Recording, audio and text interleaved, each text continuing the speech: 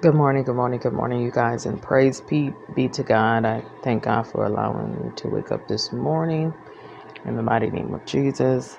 And I plead the blood of Jesus over this live audio, and I plead the blood of Jesus over every listener. In the mighty name of Jesus, we pray. Amen. On this morning, praise God, you guys. Welcome back to the morning Bible reading with Victoria Cheri. I am still in the book of Exodus. Today, I will be reading out of chapter 16. Praise be to God. And they took their journey from Elim, and all the congregation of the children of Israel came unto the wilderness of Sin, which is between Elim and Sinai, on the fifteenth day of the second month after their departing out of the land of Egypt. And the whole congregation of the children of Israel murmured against Moses and Aaron in the wilderness. And the children of Israel said unto them, Would to God we had died by the hand of the Lord in the land of Egypt when we sat by the flesh pots, and when we did eat bread to the full. For ye have brought us forth into this wilderness to kill this whole assembly with hunger. Then said the Lord unto Moses, Behold, I will rain bread from heaven for you, and the people shall go out and gather a certain rate every day, that I may prove them whether they will walk in my law or not, or no. And it, and it shall come to pass that on the sixth day they shall prepare that which they bring in, and it shall be twice as much as they gather daily. And Moses and Aaron said unto all the children of Israel, At even, then ye shall know that the Lord hath brought you out from the land of Egypt. And in the morning, then ye shall see the glory of the Lord, for that he heareth your murmurings against the Lord. And what are we that ye murmur against us? And Moses said, This shall be when the Lord shall give you in the evening flesh to eat, and in the morning bread to the full, for that the Lord heareth your murmurings which ye murmur against him. And what are we? Your murmurings are not against us, but against the Lord. And Moses spake unto Aaron, Say unto all the congregation of the children of Israel, Come near before the Lord, for he hath heard your murmurings. And it came to pass, as Aaron spake unto the whole congregation of the children of Israel, that they looked toward the wilderness, and behold, the glory of the Lord appeared in the cloud. And the Lord spake unto Moses, saying, I have heard the murmurings of the children of Israel. Speak unto them, saying, At even ye shall eat flesh, and in the morning ye shall be filled with bread and ye shall know that I am the Lord your God. And it came to pass that at even the quails came up and covered the camp, and in the morning the dew lay round about the host. And when the dew that lay was gone up, behold, upon the face of the wilderness there lay a small round thing, as small as the hoar frost on the ground. And when the children of Israel saw it, they said one to another, It is manna, for they wist not what it was. And Moses said unto them, This is the bread which the Lord hath given you to eat. This is the thing which the Lord hath commanded. Gather of it every man according to his eating, and omer for every man according to the number of your persons, Take ye every man for them which are in his tents. And the children of Israel did so, and gathered some more, some less. And when they did mete it with an omer, he that gathered much had nothing over, and he that gathered little had no lack. They gathered every man according to his eating. And Moses said, Let no man leave of it till the morning. Notwithstanding, they hearkened not unto Moses, but some of them left of it until the morning. And it bred worms and stank. And Moses was wroth with them. And they gathered it every morning, every man according to his eating. And when the sun waxed hot, it melted. And it came to pass that on the sixth day they gathered twice as much bread, two omers for one man, and all the rulers of the congregation came and told Moses. And he said unto them, This is that which the Lord hath said. Tomorrow is the rest of the holy Sabbath unto the Lord. Bake that which ye will bake today, and seeth that ye will see it, and that which remaineth over lay up for you to be kept until the morning. And they laid it up till the morning, as Moses bade, and it did not stink, neither was there any worm therein. And Moses said, Eat that today, for today is a Sabbath unto the Lord. Today ye shall not find it in the field. Six days ye shall gather it, but on the seventh day, which is the Sabbath, in it there shall be none. And it came to pass that there went out some of the people on the seventh day for to gather, and they found none. And the Lord said unto Moses, How long refuse ye to keep my commandments and my laws? See, for that the Lord hath given you the Sabbath, therefore he giveth you on the sixth day the bread of two days.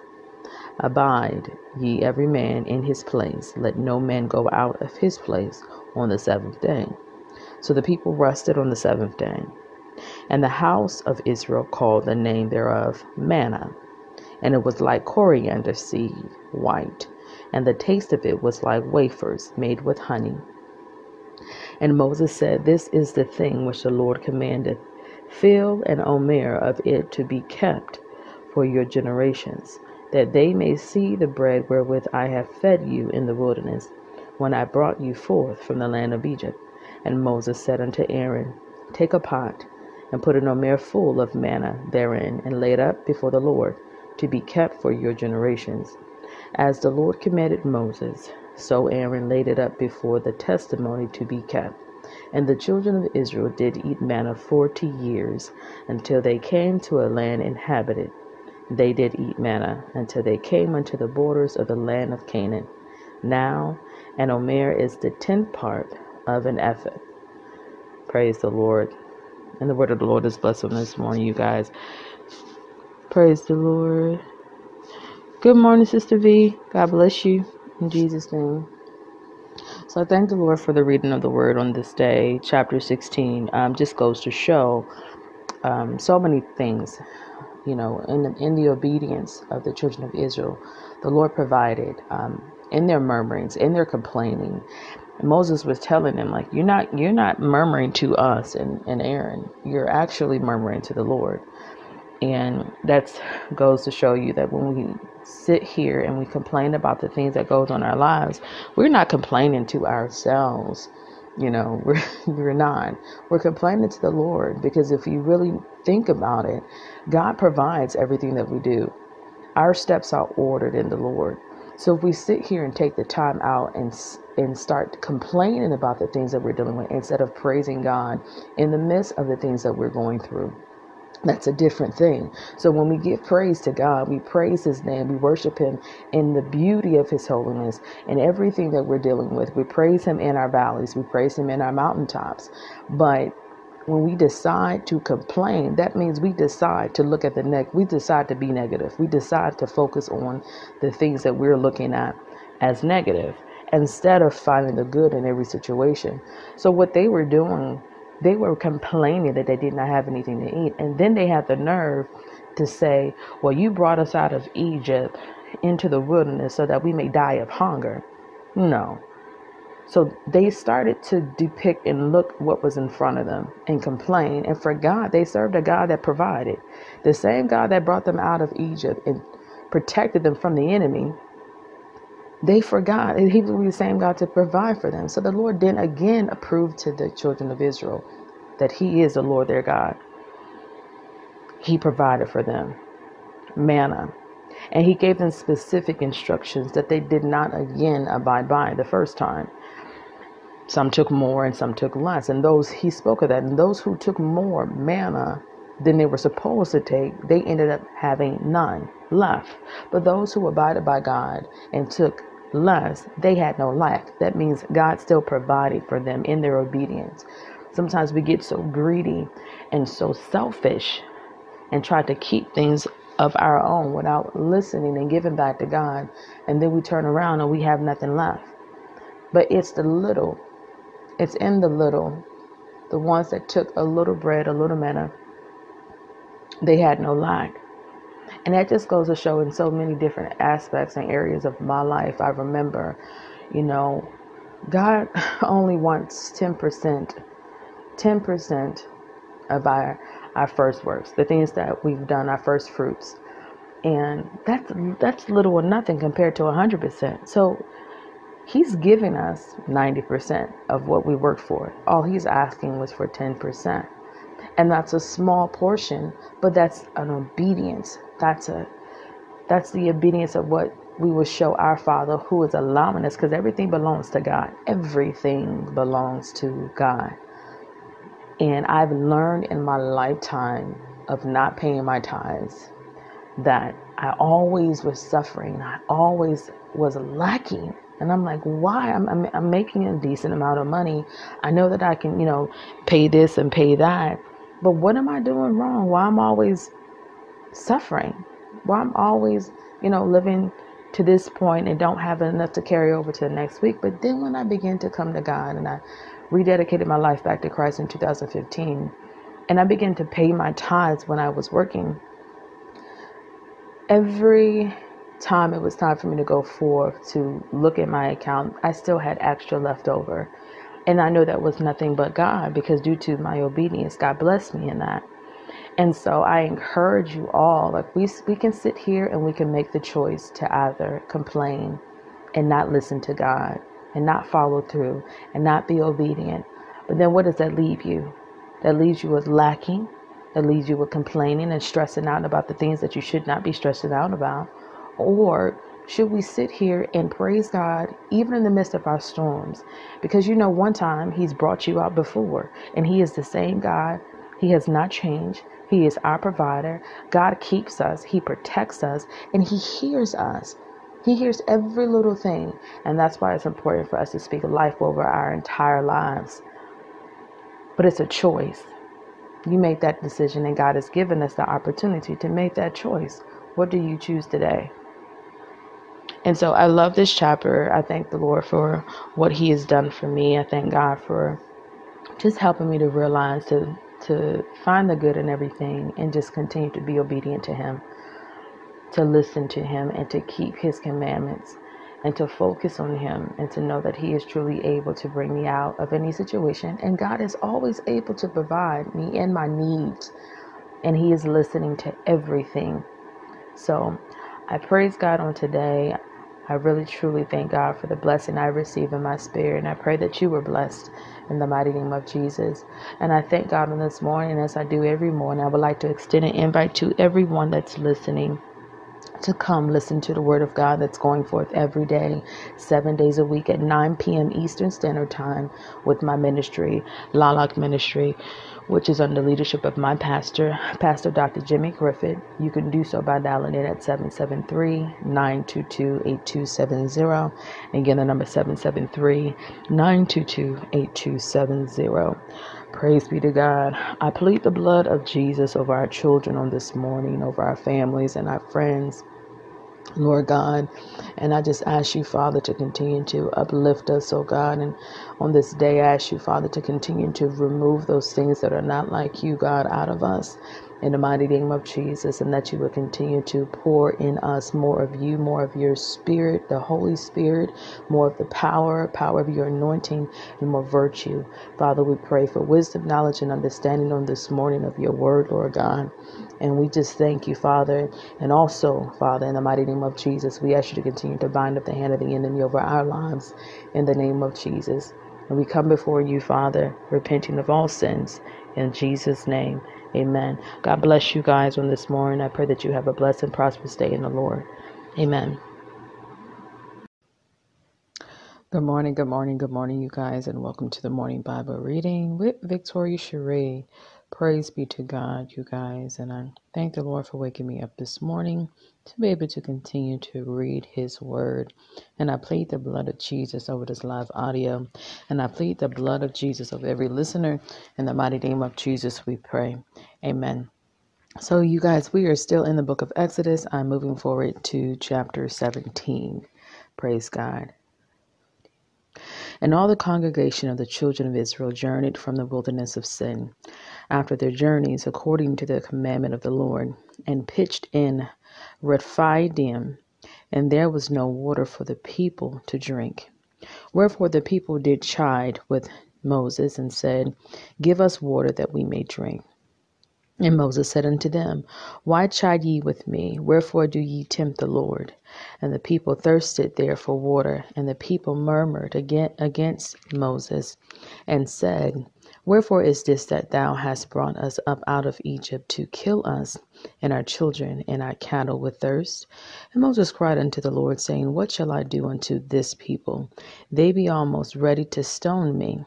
And the Lord said unto Moses, Go on before the people, and take with thee of the elders of Israel, and thy rod, wherewith thou smotest the river. Take in thine hand, and go. Behold, I will stand before thee there upon the rock in Horeb. And thou shalt smite the rock, and there shall come water out of it, that the people may drink. And Moses did so in the sight of the elders of Israel. And he called the name of the place Massah and Mer- Meribah because of the chiding of the children of Israel, and because they tempted the Lord, saying, Is the Lord among us or not? Then came Amalek and fought with Israel and Rephidim. And Moses said unto Joshua, Choose us out men and go out, fight with Amalek. Tomorrow I will stand on the top of the hill with the rod of God in my hand. So Joshua did as Moses had said to him and fought with Amalek. And Moses, Aaron, and Hur went up to the top of the hill. And it came to pass when Moses held up his hand that Israel prevailed, and when he let down his hand, Amalek prevailed. But Moses' hands were heavy, and they took a stone and put it under him, and he sat thereon. And Aaron and Hur stayed up his hands, the one on the one side and the other on the other side, and his hands were steady until the going down of the sun. And Joshua discomfited Amalek and his people with the edge of the sword. And the Lord said unto Moses, Write this for a memorial in a book and rehearse it in the ears of Joshua, for I will utterly put out the remembrance of Amalek from under heaven. And Moses built an altar and called the name of it Jehovah Nissi, for he said, Because the Lord hath sworn that the Lord will have war with Amalek from generation to generation. And the word of the Lord is blessed on this morning. Praise be to God, you guys. I thank the Lord for the reading.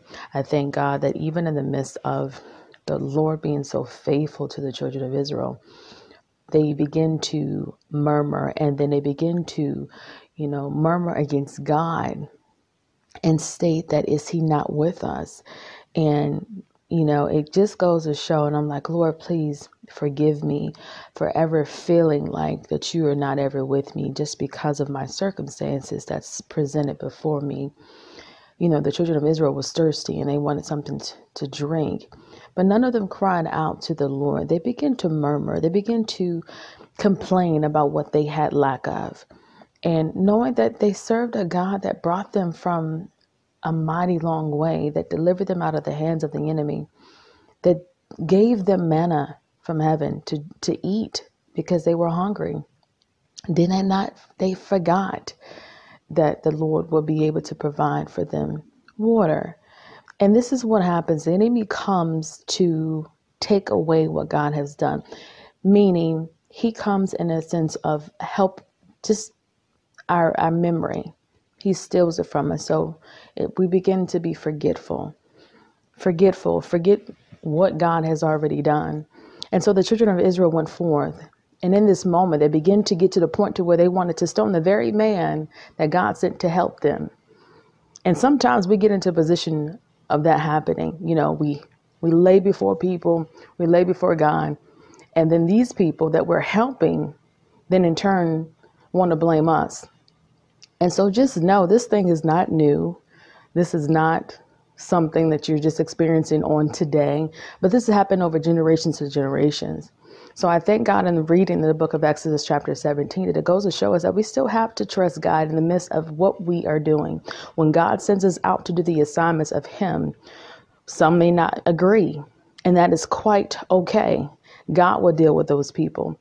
But the ones that God sent us out to do the work, and to gain and to win the souls for his kingdom would go forth in his power, in God's power. There's nothing in our own power, nothing in our own might, but in everything is from the, the power of God. So I just thank the Lord on this morning and help me to see even more in depth into my life and what God has, has for me and what I have to continue to push through the negativity, push through those who stand up against me because it's not me. They're standing up against God. They're murmuring before God, they're complaining before God. So I thank God in this and I ask the Lord to continue to help me to continue to lay before his feet and to stay in the presence of him that I may go forth and do and be pleasing in his sight and do all that he has commanded me to do. So I thank God. I pray that you all were blessed on this morning. I pray that we all continue to stay in the word of God, fast and pray, and really listen and hear God and go forth in spite of what others may say. Amen. So, as I do every morning, you guys, I would like to extend an invite to you all to come listen to the Word of God going forth every day, seven days a week at 9 p.m. Eastern Standard Time with my ministry, Lalock Ministry, which is under the leadership of my pastor, Pastor Dr. Jimmy Griffith. You can do so by dialing in at 773 922 8270 and get the number 773 922 8270. Praise be to God, you guys. I pray that we all go forth and have a blessed and prosperous day in the Lord. God bless you guys in Jesus' name. Amen.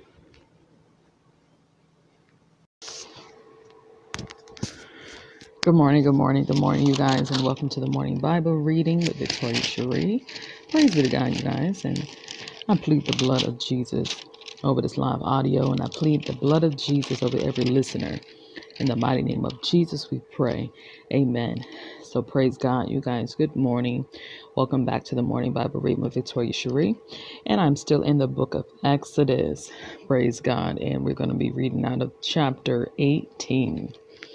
Praise the Lord. Amen. Good morning, Sister Barbara. God bless you.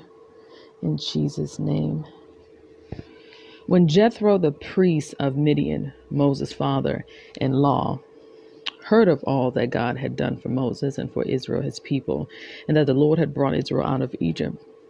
Then Jethro, Moses' father in law, took Zipporah, Moses' wife, after he had sent her back, and her two sons, of which the name of the one was Gershom. For he said, I have been an alien in a strange land. And the name of the other was Eliezer. For the God of my father said he was mine help and delivered me from the sword of Pharaoh.